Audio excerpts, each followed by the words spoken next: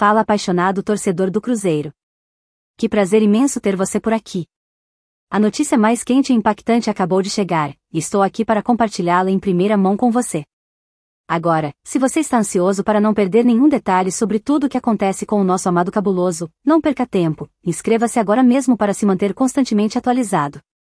Vamos direto à notícia que vai deixar você de queixo caído. Agora, segura essa, o ex-jogador do Barcelona, o incrível Adama Traoré, está no radar de dois clubes poderosos do futebol brasileiro. Nos últimos dias, os rumores não param e apontam que esse jogador habilidoso, que já deixou sua marca no Barcelona e brilhou no Wolverhampton, está considerando seriamente uma transferência para o Brasil. E a cereja no topo do bolo é que ele, após se tornar um agente livre no mercado de transferências, tem o poder de escolher onde deseja jogar a seguir, e essa possibilidade inclui o Brasil, sem que haja custos de transferência. Mesmo após o fechamento da janela de transferências no último mês, a Dama Traoré quase selou um acordo com o Milan, porém, as negociações não alcançaram um entendimento com o clube italiano. Agora, ele está em busca de um novo lar futebolístico e, diante da escassez de propostas atrativas na Europa, ele e seus representantes começaram a vislumbrar o cenário do futebol brasileiro como uma oportunidade extremamente promissora. Agora, preste atenção a essa notícia incrível: o Cruzeiro foi o pioneiro a demonstrar um interesse concreto nesse jogador talentoso.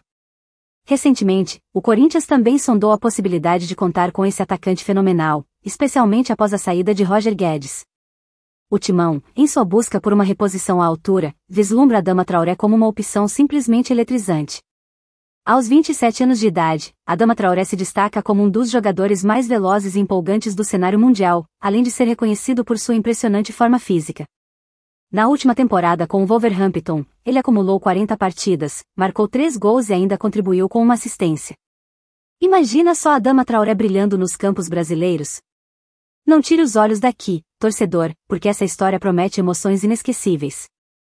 Estamos ansiosos para compartilhar cada detalhe com vocês. Não percam as próximas atualizações e fiquem ligados, pois em breve voltaremos com mais notícias fresquinhas sobre o nosso amado Cruzeiro. Bom torcedor apaixonado pelo cabuloso. O que você achou disso? Essa novidade era o que você esperava ou foi uma surpresa total? Não deixe de compartilhar sua opinião, pois estou super curioso para saber o que você pensa. E, claro, fique sempre conectado ao nosso canal, pois estou sempre trazendo as últimas notícias sobre o Cruzeiro. Já garantiu a sua inscrição?